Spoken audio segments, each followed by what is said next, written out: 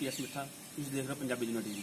ਅੱਜ ਅਸੀਂ ਤੁਹਾਨੂੰ ਰੂਬਰੂ ਕਰਾਉਣ ਜਾ ਰਹੇ ਹਾਂ ਹਲਕਾ ਡੇਰਾ ਬਸੀ ਦੇ ਇੰਚਾਰਜ ਜਿਤਨੇ ਢਿੱਲੋਂ ਸਿੰਘ ਸਾਹਿਬ ਜਿਨ੍ਹਾਂ ਨੇ ਹੁਣ ਇਲੈਕਸ਼ਨ ਲੜਨ ਦੀ ਤਿਆਰੀ ਕੀਤੀ ਹੋਈ ਹੈ ਪਰ ਟਿਕਟ ਦਾ ਫਾਈਨਲ ਨਹੀਂ ਹੋਈ ਆਓ ਕਰਦੇ ਹਾਂ ਉਹਨਾਂ ਨਾਲ ਗੱਲਬਾਤ। ਸਤਿ ਸ਼੍ਰੀ ਅਕਾਲ ਜੀ। ਸਤਿ ਸ਼੍ਰੀ ਅਕਾਲ ਜੀ।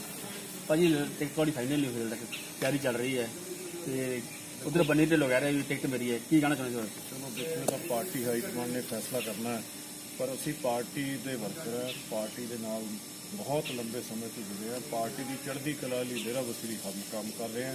ਸੋ ਪਾਰਟੀ ਲਈ ਕੰਮ ਕਰ ਰਹੇ ਹਾਂ ਬਾਕੀ ਹਾਈ ਕਮਾਂਡ ਟਿਕਟ ਦੇਗੀ ਜਿਹਨੂੰ ਦੇਗੀ ਇਲੈਕਸ਼ਨ ਲੜੇਗੀ।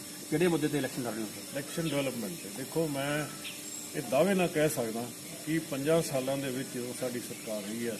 ਮੈਂ ਰਿਕਾਰਡ ਤੋਂ ਡਿਵੈਲਪਮੈਂਟ ਆਪਣੇ ਹਲਕੇ ਦੇ ਵਿੱਚ ਕਰਾਈ ਹੈ। ਚਾਹੇ ਤੁਸੀਂ ਪਿੰਡਾਂ ਨੂੰ ਲਾਓ ਚਾਹੇ ਸ਼ਹਿਰਾਂ ਨੂੰ ਲਾਓ।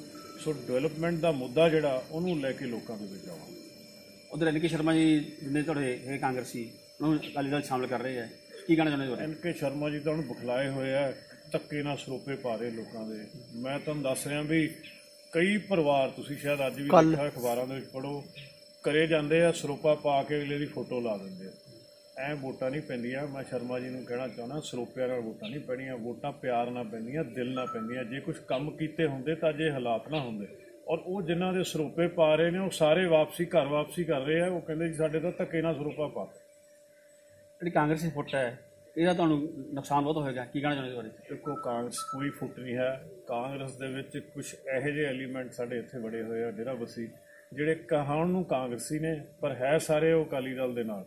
ਸੋ ਉਹ ਜਿਹੇ ਬੰਦੇ ਜਿਹੜੇ ਹੈ ਉਹਨਾਂ ਦੇ ਸਾਨੂੰ ਕੋਈ ਫ਼ਰਕ ਨਹੀਂ ਪੈਂਦਾ ਉਹ ਤਾਂ ਮੈਂ ਕਹਿੰਦਾ ਪਾਰਟੀ ਤੋਂ ਨਿਕਲੀ ਹੋਈ ਚੰਗੀ ਆ। ਬਾਕੀ ਜਿਹੜਾ ਪਾਰਟੀ ਦਾ ਵਫਾਦਾਰ ਹੈ ਜਿਹੜਾ ਪਾਰਟੀ ਦੇ ਨਾਲ ਜੁੜਿਆ ਹੋਇਆ, ਜਿਹੜਾ ਸਹੀ ਕਾਂਗਰਸੀ ਉਹ ਸਾਰਾ ਮੇਰੇ ਦੇ ਨਾਲ। Okay thank you